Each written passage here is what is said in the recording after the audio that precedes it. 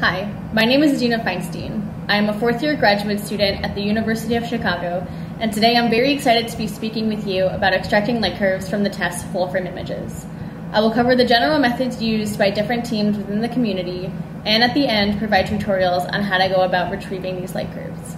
No talk about the TESS full frame images would be complete without this picture here. This is showing the full coverage of TESS from its primary mission, years 1 and 2. TESS covered about 80% of the sky and will fill in some of these gaps during the extended mission.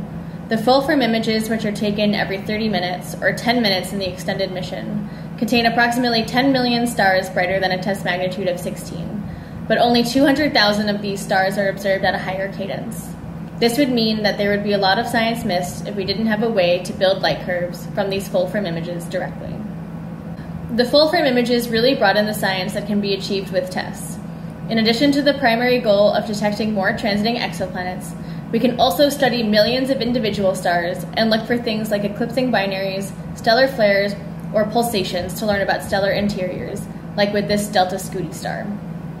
Because TESS is staring at the sky, this also provides an opportunity to catch extragalactic events such as supernovae. And even a little closer to home, we can catch solar system bodies like Ceres. Because the full frame images are massive, taking up tens of gigabytes for a single sector, the question then becomes what is the best way to handle these images, and how do we go about extracting light curves from them? There are three main techniques that I will highlight in this talk. The first technique is called aperture photometry. At the core, aperture photometry relies on multiplying the pixels from the full frame images by some mask, and then summing each frame up. The easiest way to do this is by first cutting out a target pixel file, which is a smaller region, approximately 13 by 13 pixels, centered on your target.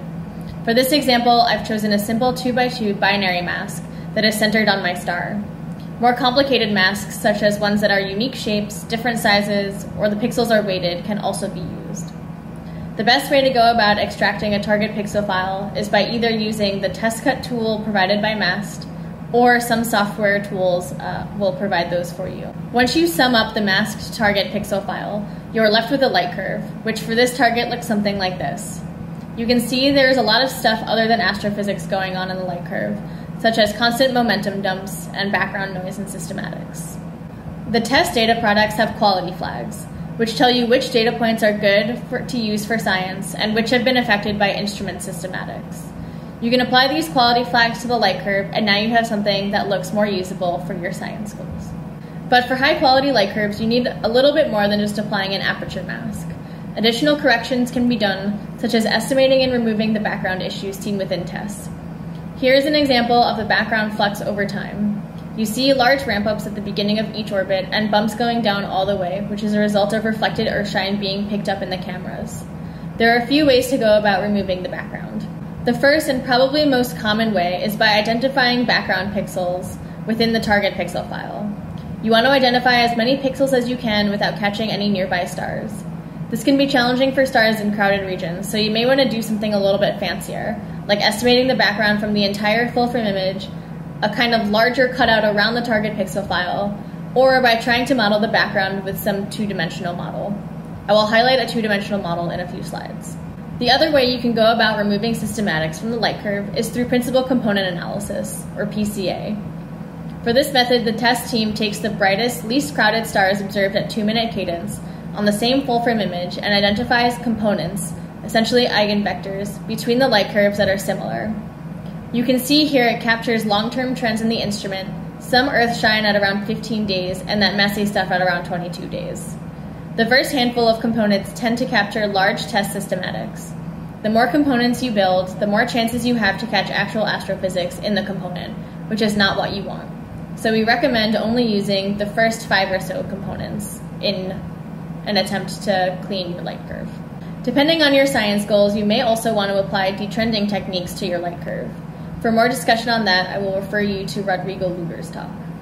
The second technique that has been used is called difference imaging. Here you're looking at the difference between each full frame image and some reference frame from those observations. When you subtract the reference frame, you can get a very different view of what is going on on the pixel level. Here, I'll simultaneously play the raw, raw target pixel file on the left and the difference image target pixel file on the right, where you can see from the start that they look very different. Difference imaging is more so a different technique to try and remove background, bad background, and TESS systematics. After subtracting the reference frame from the raw target pixel file, you still have to apply an aperture to extract the pixels that are directly relevant to your star. Then you sum up each frame the same way we did with aperture photometry and create a light curve. Difference imaging is a great technique to highlight dramatic changes within the pixels.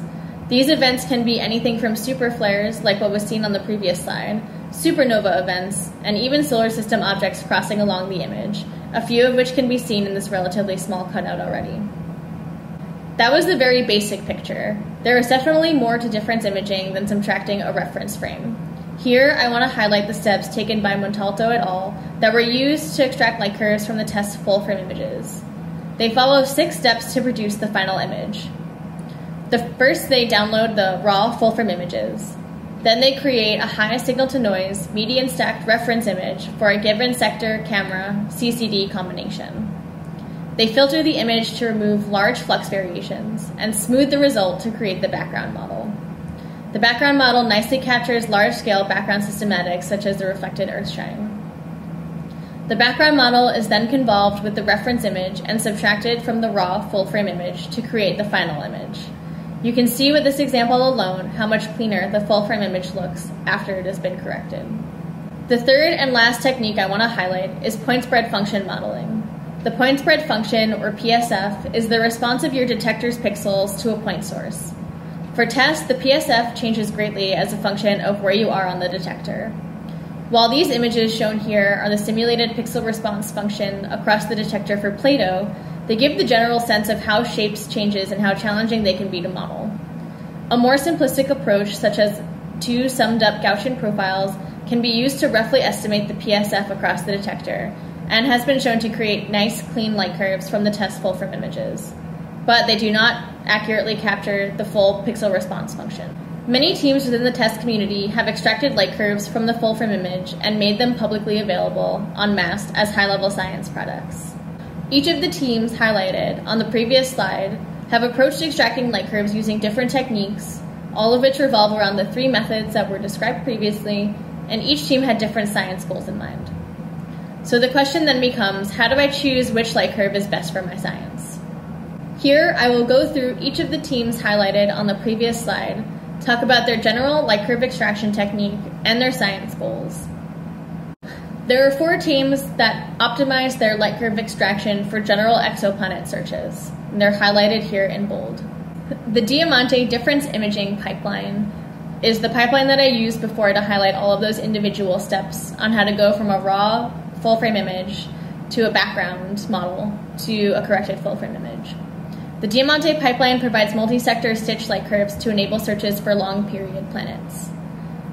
The Diamante team not only provides light curves to the community, but they also provide the outputs of their exoplanet searches. For this, they use a random forest machine learning classification system, system to find new transiting exoplanets. Here on the right, I am showing their efficiency for injected planets, where they are really able to recover these uh, bigger planets on smaller periods, which is pretty typical for exoplanet injection and recovery um, and have a challenging time finding planets at longer periods.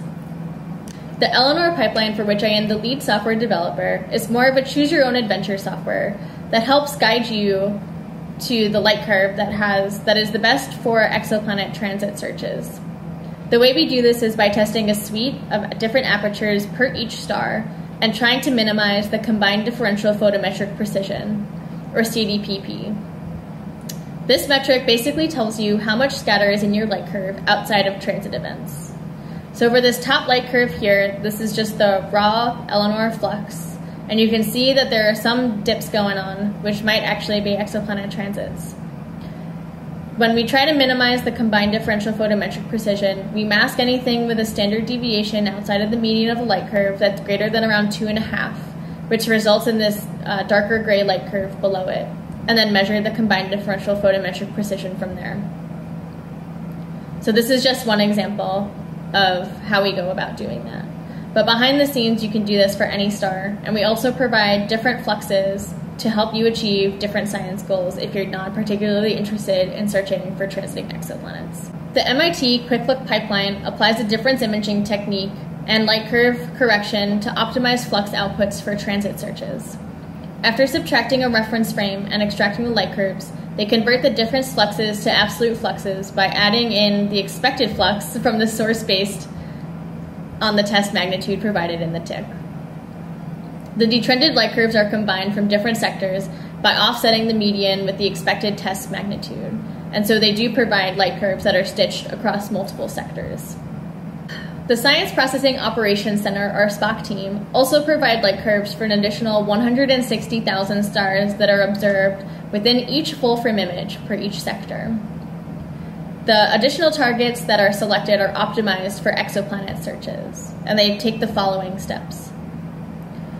First, they search for targets that have an H magnitude brighter than 10 or a distance closer than 100 parsecs, which both result in infrared bright and nearby stars that are good for exoplanet follow up.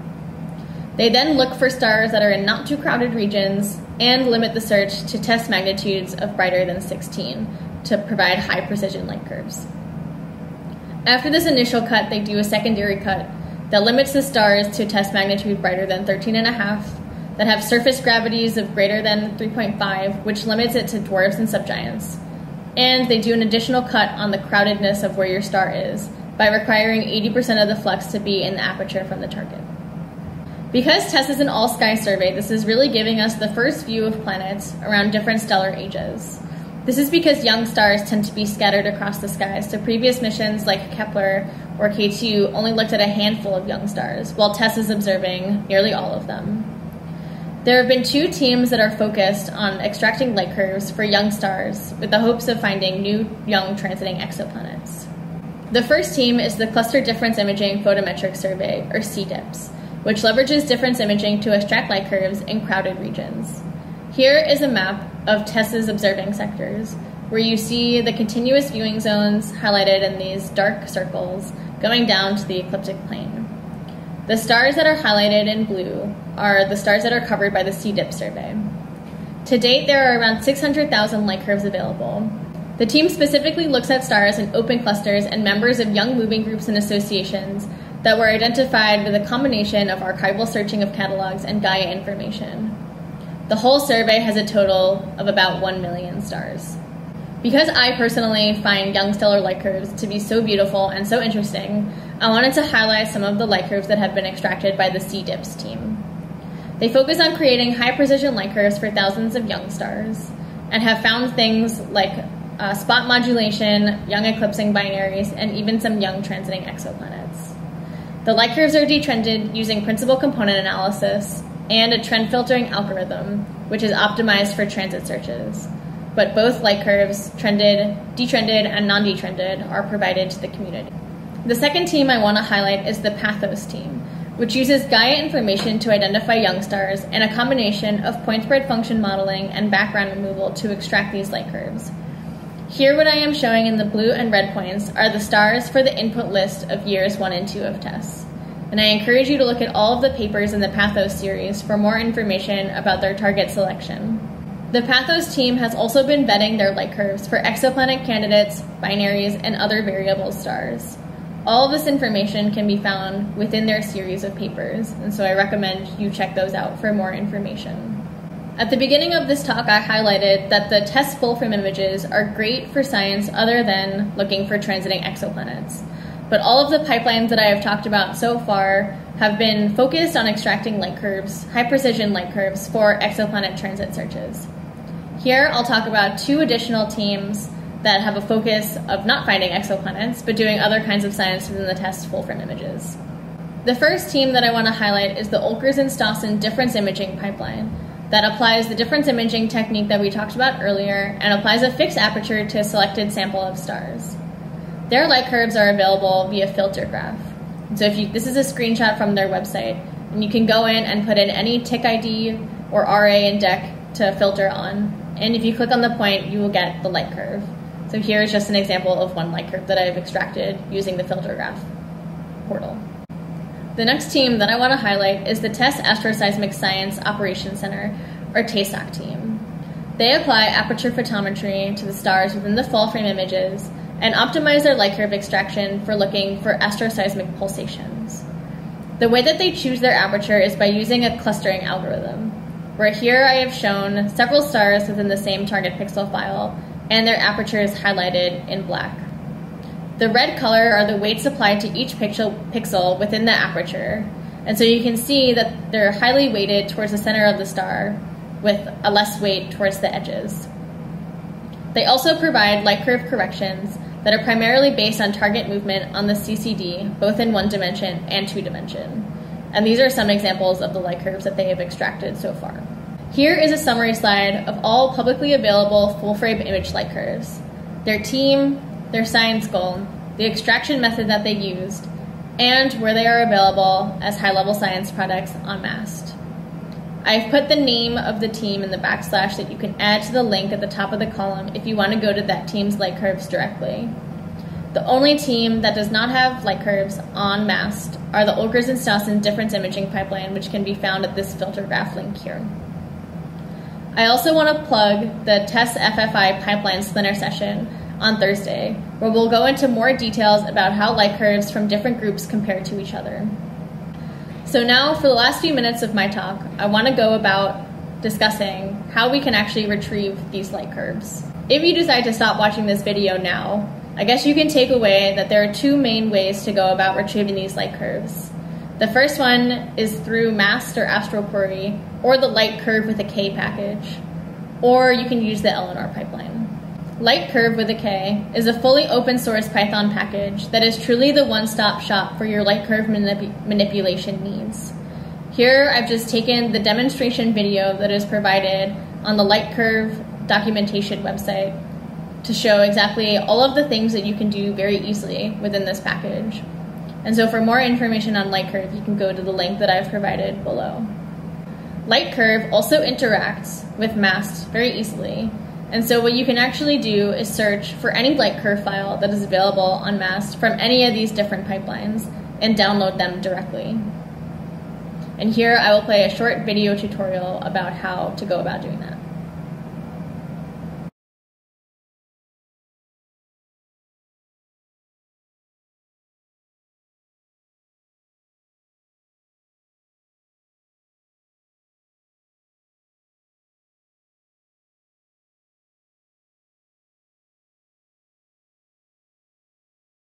The other software that you can use to extract light curves is the Eleanor pipeline.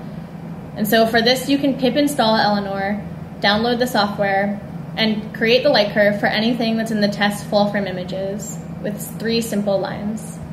I also want to highlight that if you're looking at targets uh, from sectors 14 and onward, we're using TESScut behind the scene, which is an amazing tool that was developed by Clara Brasseur at, at the Space Telescope Science Institute. And so here I will play a quick video about how we go about extracting light curves using Eleanor, and also have provided the link to the documentation below.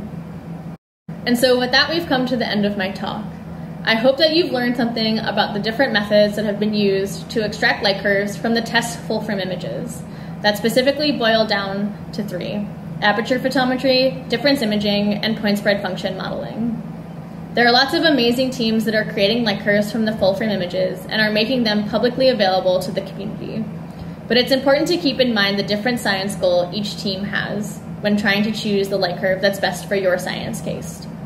While most of them are exoplanet focused, there are also some that are more stellar focused, that are more generalized, and also some that provide hands on experience with the software so you can create whatever kind of light curve that you want. There are many different tools to create and download these pre-made light curves, but specifically I would like to highlight going through the light curve with the K package or through AstroQuery.